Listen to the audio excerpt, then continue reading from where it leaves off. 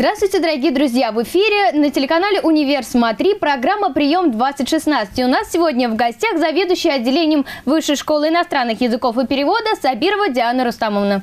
Здравствуйте. Здравствуйте. Ну что ж, первый вопрос такой. На какие направления подготовки вы планируете объявлять набор в этом году? А, в рамках нашего отделения Высшей школы иностранных языков и перевода а, ведется набор на одно направление – лингвистика. И у нас существует в рамках этого направления два профиля. Перевод и переводоведение, английский второй иностранный язык, немецкий второй иностранный язык и новый профиль, который мы открываем в этом году – теория методика преподавания иностранных языков и культур. Угу.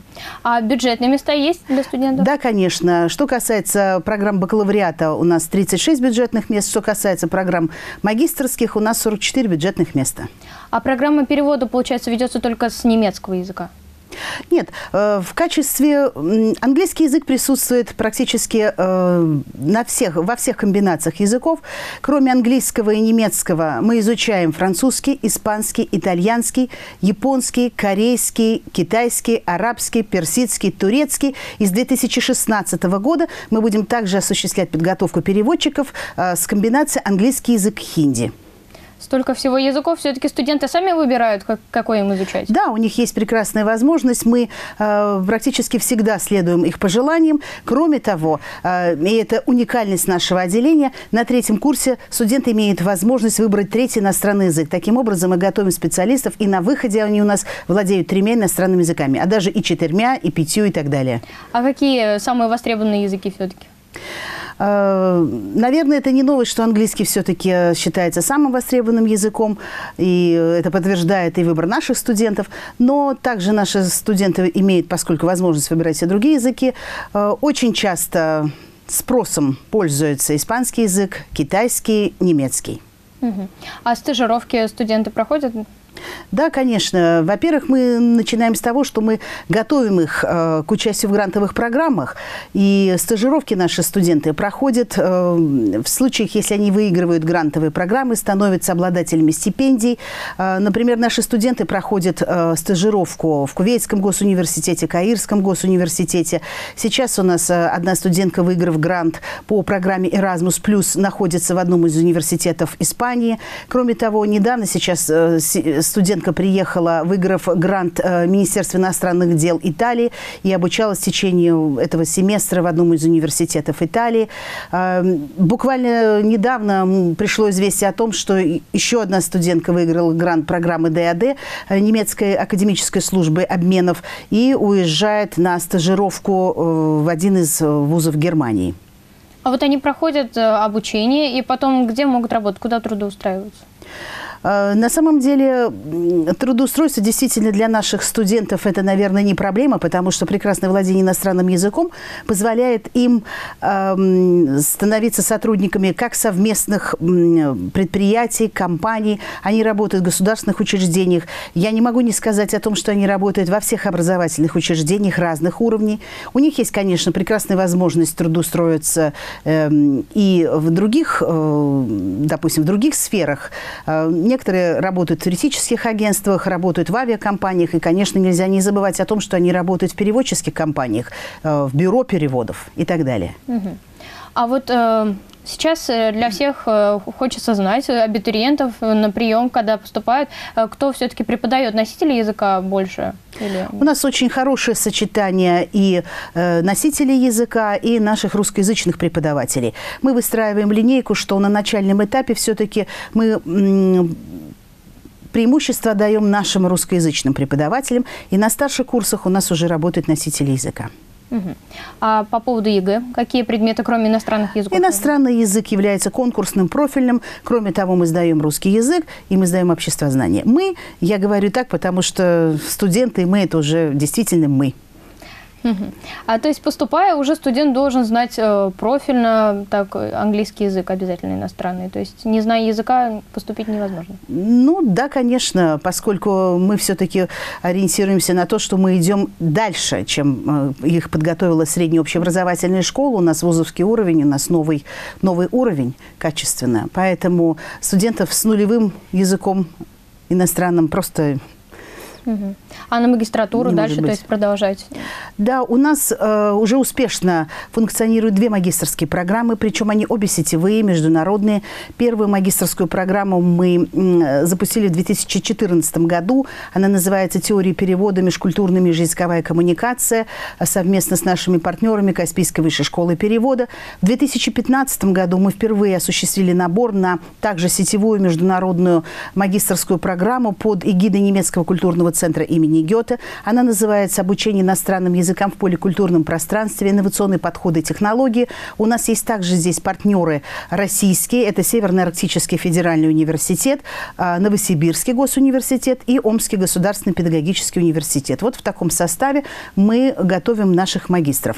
В 2016 году, в этом году, мы осуществляем набор на новую магистрскую программу «Теория методика преподавания иностранных языков и культур» и сравнительно-сопоставительное языкознание в аспекте изучения истории и культуры народов. Конечно, мы на этом не останавливаемся. У нас есть очень большие планы на будущее. Мы уже знаем, какие магистрские программы мы будем запускать в 2017, 2018, 2019 и так далее годах. Но это пока останется секретом. Ну хорошо. А в чем все-таки особенность вот этих вот магистрских программ, вот, которые новые? Магистрские программы на самом деле очень востребованы, судя по тому, какой был конкурс при поступлении на эти магистрские программы. В прошлом году примерно 9 человек на место. А, мы в рамках этих магистрских программ предлагаем также изучение двух языков. Это э, комбинация английский-немецкий и английский-французский. Я остановлюсь э, поподробнее на сетевой магистрской программе э, под, неме... под эгидой немецкого культурного центра центра имени Гёте. А, в чем здесь особенность? На эту магистрскую программу мы набираем студентов не только прекрасно владеющих английским языком, но нам необходимы студенты, которые владеют э, немецким языком не ниже уровня B1, поскольку э, модули, которые разработаны нашими немецкими партнерами, они не позволяют э, студентам учиться там с нулевым уровнем. То есть предполагается, что идет продвижение вперед. И после Проведение занятий по каждому модулю осуществляется партнерами нашими из других вузов. И по окончании каждого модуля нашим студентам вручается сертификат. Таким образом, за два года обучения в магистратуре студенты наши получают четыре сертификата после каждого модуля DLL. Угу. А дополнительное образование есть какое-то? Да, конечно. Успешно функционирует Центр развития компетенции «Универсум Плюс», а, в рамках которого работают успешно несколько центров. Это Центр английского языка, Центр французского языка, Центр немецкого языка, Центр экскурса по подготовке экскурсоводов и так далее. В рамках этих центров э, действуют различные программы самых различных уровней на самые различные потребности наших слушателей. И поэтому студенты имеют возможность получать дополнительные компетенции языковые в рамках вот занятий по различным, самым разным программам. То есть независимо, где ты учишься, ты можешь прийти и получить дополнительное? Да, конечно. Программы краткосрочные, э, программы семестровые, программы годичные, программы мы сейчас широко разрабатываем и новый спектр программ. Действует программа «Успешный переводчик» в сфере профессиональной коммуникации и так далее. А угу. вот вне учебного времени они как-то тоже изучают, поддерживают язык? Может, с носителями языка как-то общаются? Или у вас возможности есть? У такие? нас есть возможность, конечно. Они, во-первых, общаются и э, с носителями языка. Наши преподаватели, носители языка, периодически организовывают такие встречи э, с носителями языка, по, э, которые учатся у нас э, в Федеральном университете и в других университетах города Казани. Вот недавно такая прошла встреча под руководством ассистента нашей кафедры Ири Мартинес. Э, замечательно это была в рамках международной конференции «Языки мира» в транснациональном пространстве и измерении. Это была встреча с испаноговорящими студентами, носителями языка. Прошло просто на ура. Здорово. То есть, получается, вы приглашаете частенько гостей к себе, визиты какие-то? Да, конечно. Быть, да? Кроме того, наши студенты имеют возможность проводить э, совместные онлайн-конференции со студентами не только российских вузов, но и зарубежных.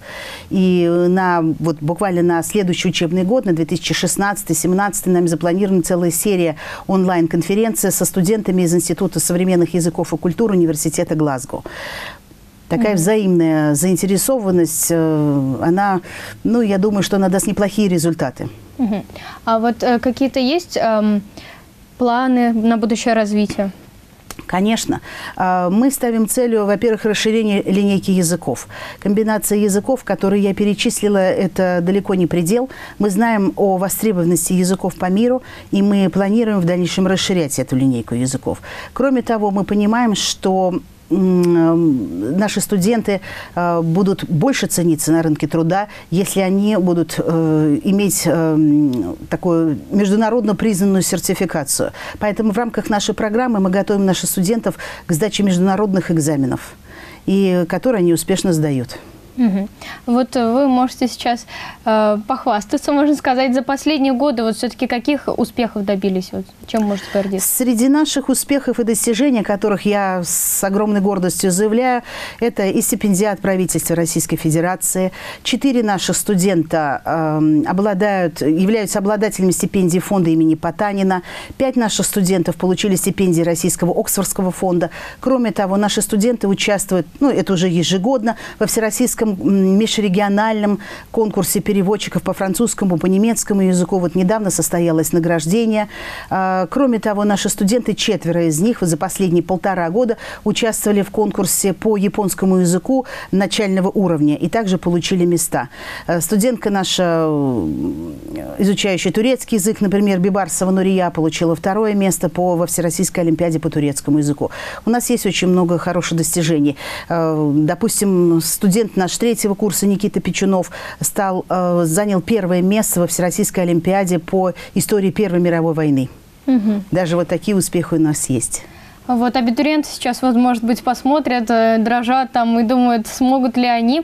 Вот какими вы их видите, абитуриентов? Какими они должны быть вот в вашей высшей школе, получается, вот э, Какими индивидуальными, может, качествами? Когда приходят абитуриенты на дни открытых дверей, которые мы очень часто проводим в рамках нашего института, а, мы всегда им заявляем, заявляем также их родителям о том, каких мы хотели бы видеть э, студентов на первом курсе. И я им всегда говорю, а, вот мне нужен студент активный, мне нужен студент, который ищущий, а, который э, ищет новые пути э, и улучшение своих знаний, который готов к интенсивной научно-исследовательской работе – который готов включиться в активную спортивную, общественную жизнь, который готов, э, может быть, инициировать какие-то проекты. В этом году у нас очень интересный первый курс, инициировали много проектов. Мы с удовольствием поддерживаем все начинания наших студентов. И когда мы говорим о том, что есть достижения определенные, мы всегда родители заверяем, «А, дайте нам таких студентов, и через 4 года здесь будет город-сад. Через 4 года мы прекрасных студентов выпустим с прекрасным уровнем владения иностранными языками и активной жизненной позицией. Это очень важно. Мы надеемся, что именно такие абитуриенты в этом году поступят на Казанский федеральный в отделение Высшей школы иностранных языков и перевода. В гостях у нас была Сабирова Диана Рустамовна. Очень приятно. Спасибо. Спасибо.